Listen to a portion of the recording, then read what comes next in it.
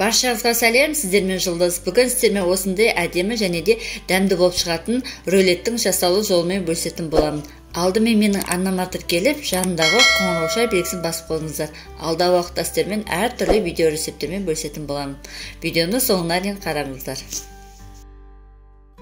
Ең алдымен бізге шпинат жапырақтары қажет болады. Оны балғын түрінде немесе мұздалған түрінде қолдансаңыз болады.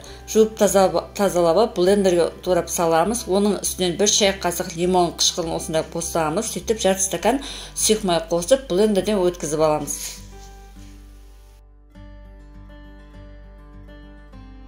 Енді құрғақ таза ыдысқа 5 жұмыртқаны салып оның үстінен бір шымшым тұз қосып миксермен жақсылап миксерлеп аламыз кейін оның үстіне бір шай қасық ванильный сахар қосамыз. Кішкене дәм беру үшін сөйтіп бір қантымызды қосып миксерменен аппақ көбік болғанша жақсылап қант ерігенше осындай қылып миксерлеп аламыз құрғақ қоспамызды дайындаймыз.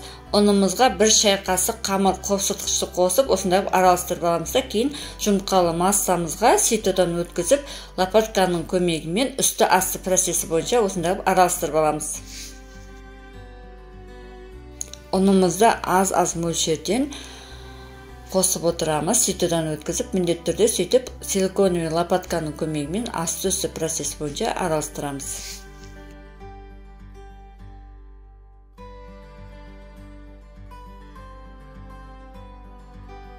Енді осы қамырымызға шпинатный массамызды қосып астынан үстіне қарай жақсылап бір тегіс болғанша араластырып аламыз.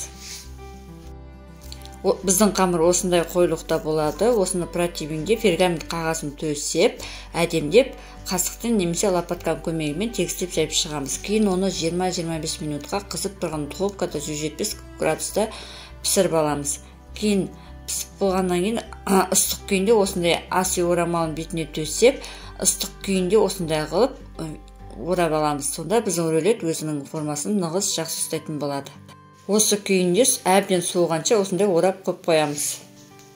Енді кремін дайындаймыз. Ол үшін бізге 33 пайыздық клейгей қажет болады. Клейгейіміз міндетті түрде салқын күйінде болу керек.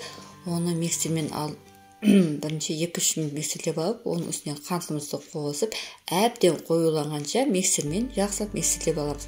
Бізде осындай қою крем пайда болу керек. Міне осындай болу керек. Енді орап қойған рулетімізді ашып ортасына кремімізді жаға берсек болады.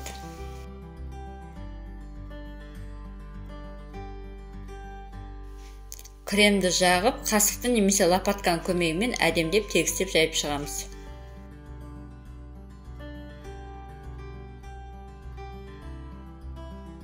Ортасына құлпынайды немесе басқа үйде бар жеміс жидекті салсаңыз болады. Ол міндетті емес. Өзіңіздің қалауынша салып осындай әдемдеп тегістеп орап холодильникте 5-6 сағат ұстаймыз.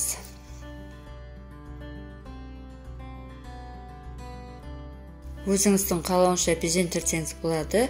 Егер де рецепт ұнап жатқан болса жасап көріңіздер. Өте жұмсақ дәмді болып шығады. Менің арнама тіркеліп қойды ұмытпаңыздар сіздермен болған жұлдыз ас болсын.